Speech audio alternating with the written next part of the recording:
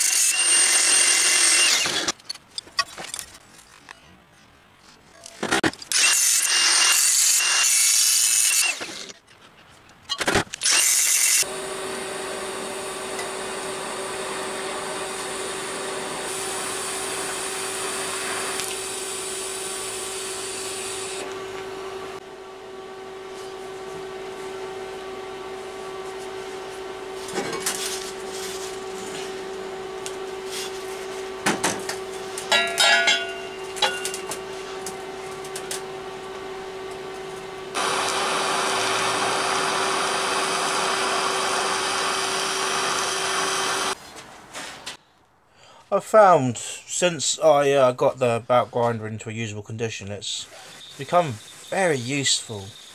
Uh, I'm not entirely happy with it as it stands. There's nothing to do with this video, but just thinking about it whilst I was here editing, um, I would like to start it over with larger contact wheels and a two metre long belt if I could find it. I've just had so many ideas for it and that, ways of improving it.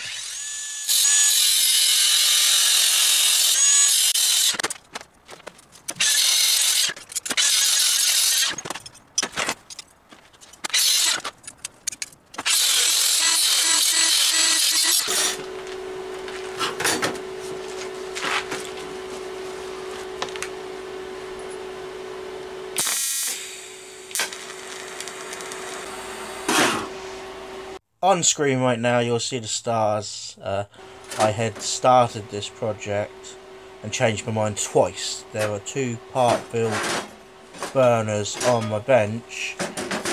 The reason being was I thought to myself, initially I started out, I was going to build just a replica of the original burner and I thought there's no real point of that because it's it's not going to serve the purpose of what I want now so I thought I would use the same concept but change it up to suit my needs. So the burner's to like be based off of the same idea how it works but intended to suit my needs now for a larger shed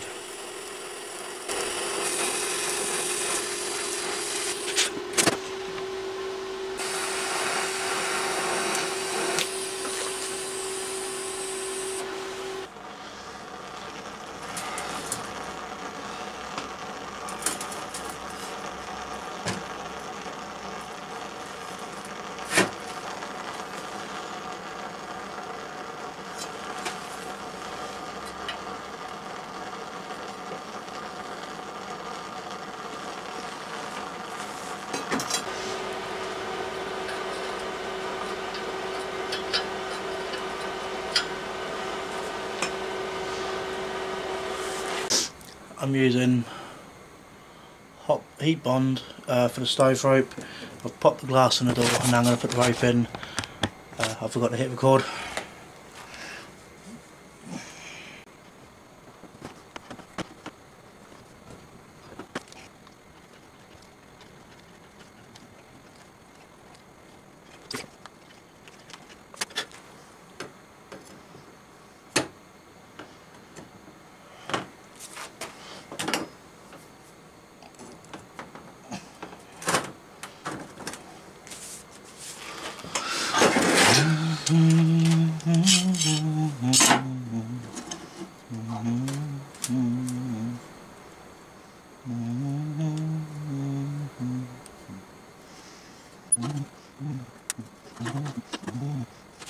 Now with the door I've put a piece of glass in there, cemented the stove rope and I've placed a piece of metal over the top of it. The idea of that is I want to create a seal not only for the glass but also for the door. I'm going to tack weld, and there's going to be small tacks, I'm going to tack weld this metal plate in and uh, if anyone's going to do this as well, I've thought about this, I recommend you make sure your tacks are accessible for a grinder in case you ever need to change a glass.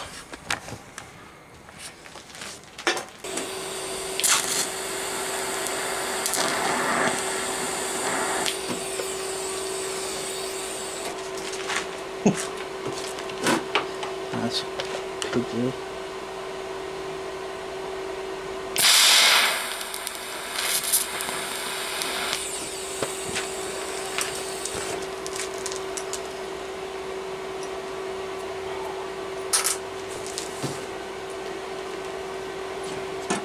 Okay, place the smallest tacks I can. I'm going to have to grind them ones out of the way because I want to place them down there.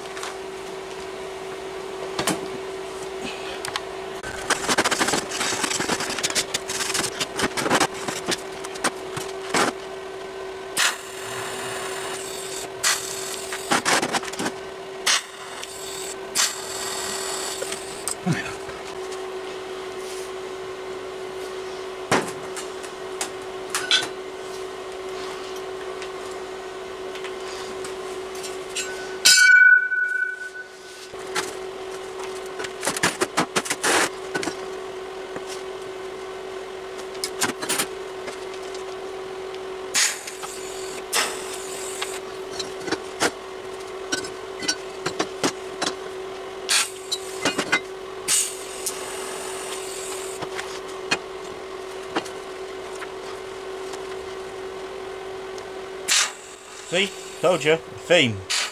I'm working within, I don't know, about 12 or 12 inches of my bench now because the rest of it's just full of junk and crap and tools that I've not bothered to put away.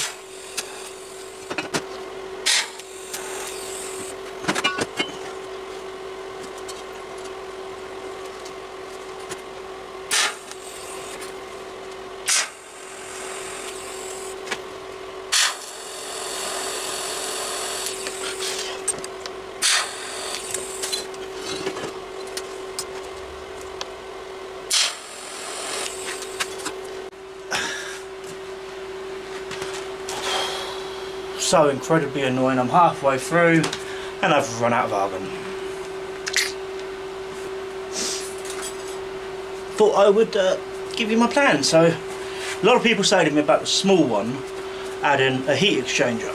So I've made, well I'm making, a small heat exchanger. We have gas. Not smelly kind of gas.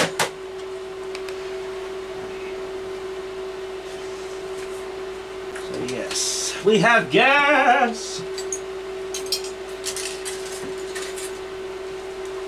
Which means I can get back on with this.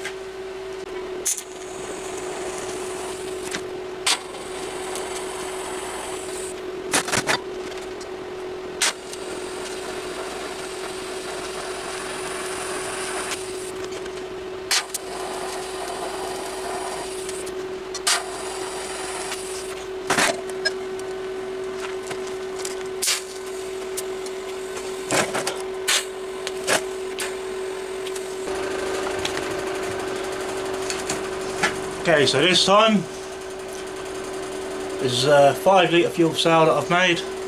I ran out of um, 100 by 100 box sections so I've made some up. Uh, start this up.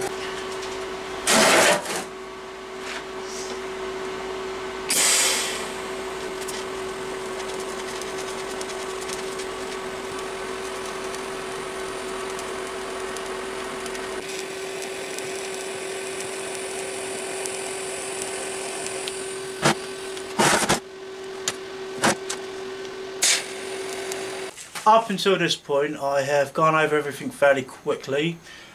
Uh, I thought I'd get your opinions on that. I'd like to know, well if you would prefer, a more in-depth look at how this is made and that, or if a quick skim over is all people seem to want. Um, we're now at the point where I'm going to start putting the heater, the heat exchanger and the fuel tank together. I've made up a just a rough bit of uh, bar work just to hold everything in place and get it all mounted. So this is the burner. I did that bit off camera because I forgot to hit record. Uh, the air, unlike the original, is coming up through this lower port and it comes all the way to the top of the glass and it sort of vents in sideways. I was told by someone that having the air coming in like on a normal wood stove having some air coming up through by the glass will help to stop the eventual sooting. So I have attempted that with this one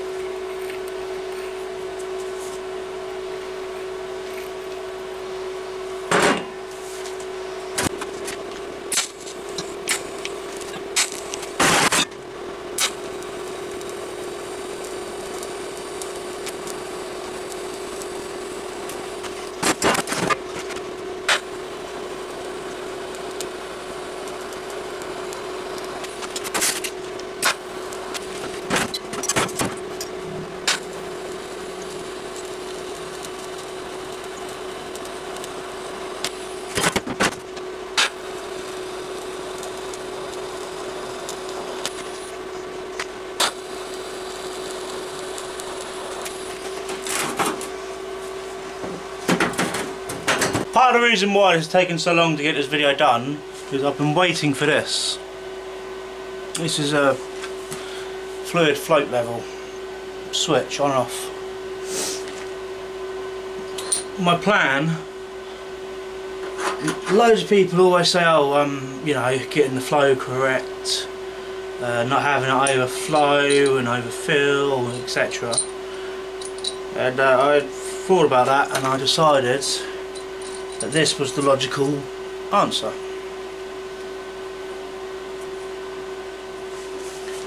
So what I've done is made up a little tiny pot.